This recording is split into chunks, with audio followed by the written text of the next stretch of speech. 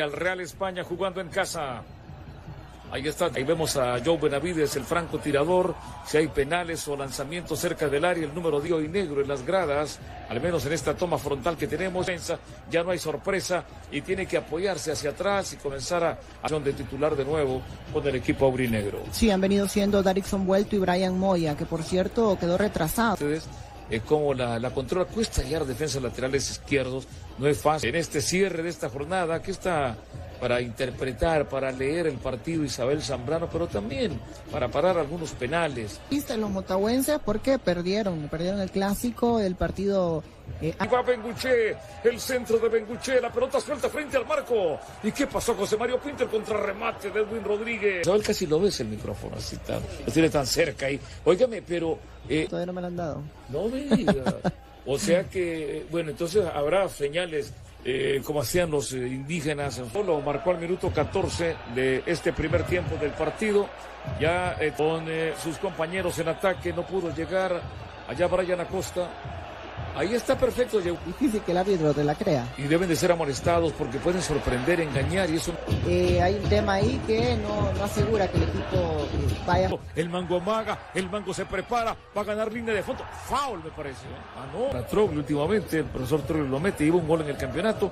Es un hombre de 28 años todavía, sumamente internacionales y eso no le gusta al público.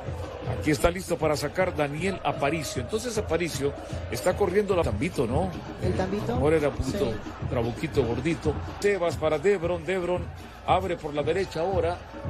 Aquí viene saliendo ya el equipo de el España. Centroamericana, o ya no está más la Copa Centroamericana, tenés que enfocar. No, se puede todo el tiempo estar así, en el fútbol al menos. Ahora es el Olimpia, atención, aquí viene Solano Solani, busca el quiebre, pero... Está muy exitoso. Buena pelota, Álvarez buscando el centro. Está gritando el segundo tanto José Mario Pinto. Pinto con la gambeta. Muy bien ahí. Eh, en la marca citadores, Alexi Cáceres, allá en Alexandría, Virginia. De él también ya y ya futbolero. Amenaza Olimpia. El juez Pitti marca la falta, pero la mínima diferencia nunca es garantía. Usted tiene toda la razón, eh, no es garantía, hay que marcar en cualquier momento, tanto en todas sus líneas, especialmente en su línea de mediocampo, de defensa. Acá para José Mario Pinto, levanta el centro José Mario, el toque de cabeza llega de la defensa del España. Tiene una, una gran ventaja en ese sentido. Pero aquí viene de nuevo el Olimpia, últimos segundos, ya últimos compases. El atardecer prácticamente del primer tiempo que deja registrado el gol nada más de Brian para José Mario Pinto. Vamos, José Mario Pinto. Centro equivocado. De nuevo talla la gana el España 1 por 0.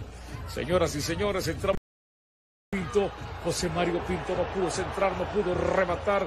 Vienen dos marcas de una manera implacable por él y la pelota se pierde por Velázquez. Era Joe Benavides que tiene que entregar hacia atrás el balón.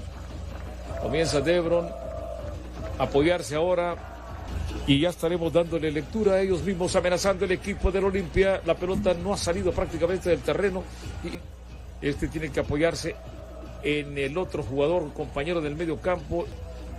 No, está jugando hacia atrás, no hay espacio, está todo el mundo organizado en defensa, filtrando para Chapetía. Ya le ganó a ya le ganó a Maratón y le está ganando a Olimpia, Real España.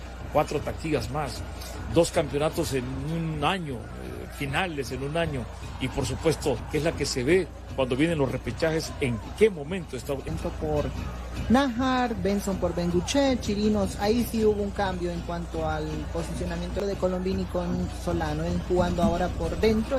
Aquí Isabel también le recibe su saludo. Saludos. En Isli Sur, Carolina. Probarla y hacer tiempo así.